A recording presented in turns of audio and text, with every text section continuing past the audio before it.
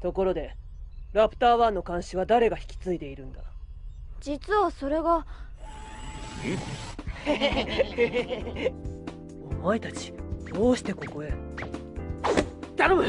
俺たちをダットに入れてくれ！入れてくれ！